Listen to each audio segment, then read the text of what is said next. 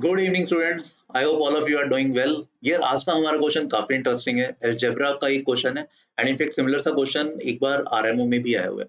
Although आज की date में this is not the RMO level है ना? प्रीवियस मतलब काफ़ी पहले वाले ईयर्स में आया हुआ था. आईयूक्यूएम uh, लेवल के हिसाब से this should be somewhere around either it should be of three marks और फाइव मार्क्स फाइव मार्क्स के लिए थोड़ा इजी काउंट होगा. थ्री मार्क्स के लिए थोड़ा अबव एवरेज काउंट होगा. Right right?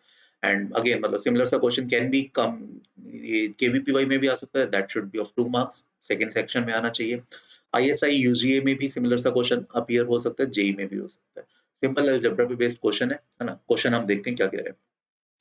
Question says that find all the positive integral triplets X Y Z satisfying this equation इस इक्वेशन को सेटिस्फाई करने वाले जितने भी ऑर्डर uh, पेयर्स की बात कर रहे हैं ट्रिपल्स की बात कर रहे हैं जितने भी सॉल्यूशंस हैं uh, वो हमें बताने हैं.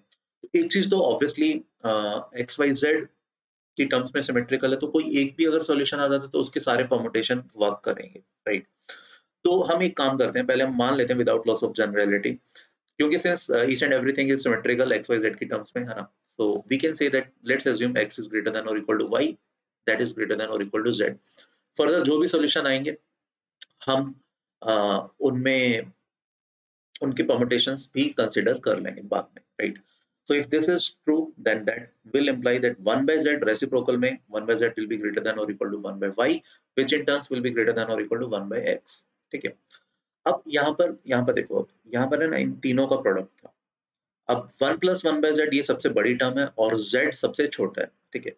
तो हम z पे कांस्टेंट निकाल सकते हैं कि z का कांस्टेंट क्या होगा। जैसे अगर मैं z को लेट से थ्री रखता हूँ for example let's put z equal to three तो one plus one by Z कितना बनेगा that will be how much four by three ठीक है? एंड वी कैन से कि वन बाय जेड सबसे बड़ा है तो one one plus one by X, और in fact one and in fact one plus one by Y. They both will be less than or equal to 1 plus 1 by z because 1 by z सबसे बड़ा था। ये simply हम बोल सकते हैं ये दोनों, ये भी और ये भी। दोनों one plus one by z से छोटे हैं। एंड दिस इंप्लाइज ये जो प्रोडक्ट होगा दिस प्रोडक्ट की जगह अगर मैं one plus one by x की जगह one plus one by z डाल देता हूँ that is four by three one plus one by z की जगह, इसकी जगह भी फोर बाई थ्री डाला, इसकी जगह भी फोर बाई थ्री डाला, ठीक है? तो ये वाला जो प्रोडक्ट था दैट इज़ टू है ना? वो इससे, ये वाला प्रोडक्ट इससे बड़ा हो जाएगा। That should be greater than और इक्वल टू बिकॉज़ इसकी जगह मैंने कोई बड़ी वैल्यू डाली, इसकी जगह कोई बड़ी वैल्यू डाली। समझ में आ रहा है? और ये कितना बन रहा है? This comes out to be 64 upon 27 which is true 64 upon 27 2 से बड़ा है ना? But let's also check for z equal to 4 z equal to 4 के लिए भी चेक करते हैं एक बार। उसे ना हमें अपर कांस्टेंट मिल जाएगा z पे कि z क्या हो सकता है राइट सेम लॉजिक से, अगर हम z इक्वल टू 4 के लिए चेक करते हैं। ठीक है let's assume z to be equals to 4 ठीक है? Z इक्वल टू फोर के लिए अगर हम चेक करेंगे तो अब देखो ये वन प्लस वन जेड कितना बनेगा? That will be simply five upon four है ना? And one plus one by x obviously इससे छोटा है one plus one y obviously इससे छोटा है बिकॉज़ वन बाई वाई और one by x one z से छोटे हैं राइट तो अगर मैं सबकी जगह फाइव बाई फोर डाल दूँ five by four times five by four times five by four तो आइडियली हमारा प्रोडक्ट इससे बड़ा होना चाहिए this should be greater than और इक्वल टू टू ठीक है? बट ये वैल्यू कितने बन रही है? ये this comes out to be 125 upon 64 है ना? But this is clearly less than 2 ये 2 से छोटा है। तो दिस थिंग इज़ इनकरेक्ट ये गलत है। दैट मींस अच्छा अब जेड को मैं अगर कोई और बड़ी वैल्यू डालूँगा तो 1 बाय जेड और कम हो जाएगा। यानी ये 5 बाय 4 से और कम वैल्यू हो जाएगी एंड हेंस ये प्रोडक्ट और छोटा हो जाएगा 125 बाय 64 से। बट हमारे क्वेश्चन के, हमारी थीम के according that should be greater than और इक्वल टू 2 क्योंकि मैं इन दोनों की जगह इससे बड़ी वैल्यू यानी वन बाय जेड और वन बाय जेड रिप्लेस कर रहा था। One plus one by z right तो इस पूरी कहानी का क्या कंक्लूजन हुआ? इससे यू कैन कंक्लूड कि z can not be greater than और equal to four z four या फोर से बड़ा नहीं हो सकता, ठीक है? दिस इंप्लाइज अब पॉजिटिव इंटीग्रल है नेचुरल नंबर्स की बात कर रहे हैं।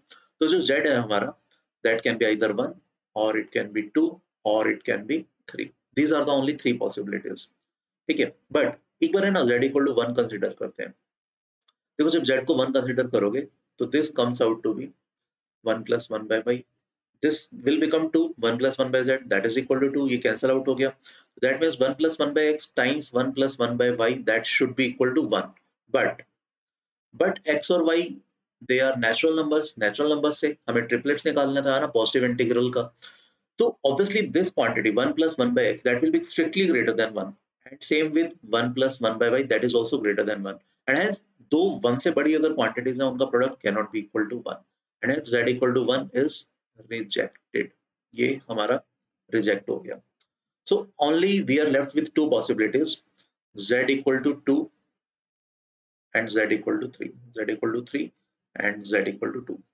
okay these are the only two possibilities and uh, kindly remember हम ये वाला केस कंसीडर कर रहे थे x is greater than or equal to y which is in turns is greater than or equal to z तो further जो भी solution आएँगे हमें उनके permutations तो लेने पड़ेंगे right now if z equal to 3 our equation becomes uh, let's take the LCM x uh, तो x plus 1 upon x that is equals to y plus 1 upon y let's put z equal to 3 so that will become 4 upon 3 that is equals to 2 1 2 will get cancelled out and let's cross multiply x y and 3 so what we will get twice of 2x plus 2y plus twice of xy plus what? Plus 2 that is equal to thrice of xy or in another sense, you can say 2x plus 2y plus two that is equal to x y जिसके further factor बना सकते हैं। Two x और two y को right side पर ले जाओ।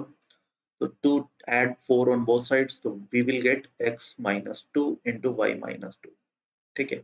This will be the factors of the right hand side right now let's let's consider this thing इसको कंसीडर करते हैं। ठीक है? लेट्स कंसीडर दिस एंड यहाँ पर अब हमारे, हमारी इनइक्वालिटी जो भी ये इक्वेशन बनी है this becomes x minus two times y minus two that is equal to four plus two which is six and clearly हमारी एजम्पशन के अकॉर्डिंग x, y, या y से बड़ा है right so the possibility is या तो हम three into two कर सकते हैं or we can make 6 into 1 these are the only two possibilities that I can think of first possibility के according x कितना आता है x comes out to be if x minus 2 is 3 then x will be 5 and similarly if y minus 2 is 2 then y will be 4 and z हमने क्या assume किया था 3 so this is one solution ये एक solution है 6 और 1 के according if x minus 2 is 6 x will be 8 similarly if y minus 2 is 1 then y will be 3 z is 3 according to our considered case So, इस particular case से we arrived at two solutions 543 833 under this assumption. So further क्या होगा? इसके सारे permutations भी work करेंगे। 543 के in total including 543 six permutations are there 833 के including 833 there will be three permutations right अभी हम केस कंसीडर करते हैं next when z is equals to 2 ठीक है? अब अगर z इक्वल टू 2 होगा, हमारी इक्वेशन बन जाएगी x plus 1 upon x times y plus 1 upon y, that is equal to 3 upon 2 that is equals to 2 right? All right. So, थोड़ा सा सिंप्लीफाई करते हैं. Three x plus three y plus three x y plus three that is equal to nothing but four x y और you can say यहाँ से कितना बन जाएगा? Three x plus three y plus three that is equal to x y यहाँ से हम factorise कर सकते हैं Add nine on both sides right तो left hand side will become 12 and right hand side के फैक्टर बन जाएंगे x minus three times y minus three ठीक है So this is what we need to consider now x minus 3, y minus 3 that is equals to 12. Again under the assumption x greater than or equal to y greater than or equal to z and z is equals to 2 right. So factors क्या क्या बन सकते हैं 12 1 right 6 2 4 3 और further factor नहीं बन पाएंगे because this factor should be greater than y minus 3 according to this assumption right so 12 1 के according if x minus 3 is 12, then x will be 15. Similarly, if y minus 3 is 1, y will be 4. And z is obviously our considered value 2. So this is one another solution. For 6 comma 2, we will get x to be 9, y to be 5, and z was 2 as per the considered case, right? And for the next last 4 comma 3 x should be how much? 4 plus 3 which is 7 and uh, y should be 6 and z was 2 according to our considered assumption. So finally three of the solutions are there and two are these solutions. So in total if we are if we are talking about unordered pairs so unordered pairs ban jayenge pehle 5 4 3 8 3 3 okay 5 4 3 8 3 3 उसके बाद आते हैं fifteen four two nine five two fifteen four two nine five two and I guess seven six two yes seven six two these are the five unordered pairs ordered pairs की अगर हम बात करें, इसकी we will have in total six permutation इसकी we will have three permutation in total and इसकी we will have six permutation in total and again इसकी भी सिक्स परमोटेशन होंगे because all the elements are distinct इसकी भी six होंगी. तो अगर हम टोटल ordered पेयर्स की unordered, मैं लिख देता हूँ अनऑर्डर्ड पेयर्स अनऑर्डर्ड पेयर्स बन जाएँगे हाउ मच फाइव एंड अगर हम ऑर्डर्ड पेयर्स की बात करें ऑर्डर्ड पेयर्स बनेंगे how much 24 plus three twenty seven ठीक है? तो ट्रिपल्स की बात कर रहा था इस पर्टिकुलर क्वेश्चन के, फिर number of solutions will be distinct ordered pairs that will be 27 right तो आई होप यार ये वाला क्वेश्चन आपको समझ में आया होगा एंड uh, काफ़ी कुछ सीखने को मिला होगा इसमें। We will meet you in the next session with new question then please take a very good care of yourself thank you bye bye